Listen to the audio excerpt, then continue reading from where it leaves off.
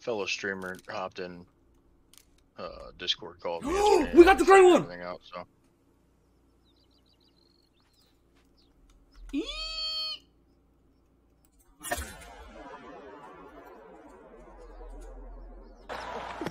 Oh, wow!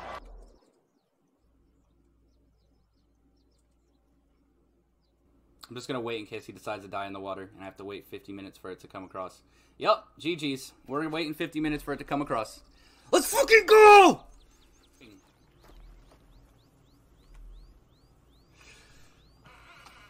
Let's go!